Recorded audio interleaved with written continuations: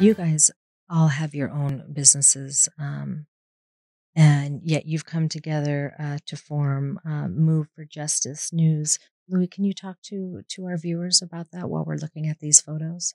Um, as far as um, Um, you guys came together, and, and what what was the goal to to to come together as a group? well, I think um, it was basically most of us. This uh, I think we have six, six now, Phil. Seven. Seven. Oh yes, our, our, our, our writer. Mhm. Well, eight with her. Oh, Emma, okay. Emma's our seventh. Uh, well, we have seven uh, photographers, and most of us are veteran photographers, so we have been around the movement pretty much since the beginning. Sure. Um, so, you know, when after George Floyd came about, there were so many, all of a sudden, like all these photographers and photojournalists came out of nowhere. And it's Right. like, we're like, where'd all these people come from? hmm Where'd they all go?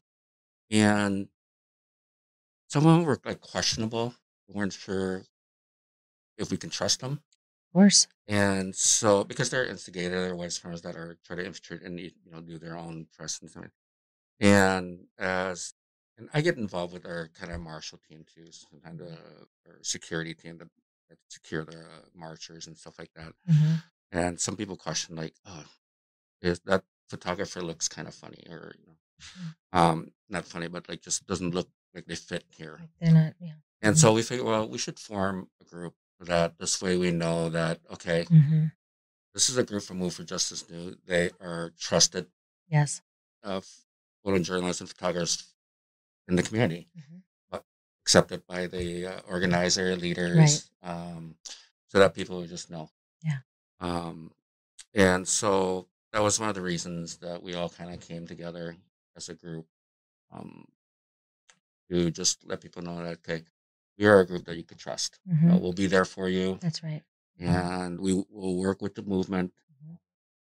whatever, you know, and we're going to try to have somebody th- at different events, you know, whether if it's big or small, we're going to have Mhm. somebody there to cover what's going on. Sure. So, hmm um, actually, that's kind of one of the reasons why we came together. Mhm. Um, Phil kind of came up with the idea, so maybe Phil could say a little bit more about it.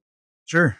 Uh, I feel like I, I just kind of, you know, expanded upon it. It was a it was a conversation that started with uh, me and me and Taifi Fankwang, who's another one of our our photographers, Mhm. and I'm like, you know, we should we should start something up with all the veteran photographers. He's like, well, you know, we have this this group chat message, and we've been talking about wanting to do this for a long time, hmm and nothing's ever come of it. And so, Well, you're also busy too, you know, and it takes time to organize and yeah, and you guys have just been out there 24/7. and over the last few months, I I had the time to do it, so I just Mhm. did it.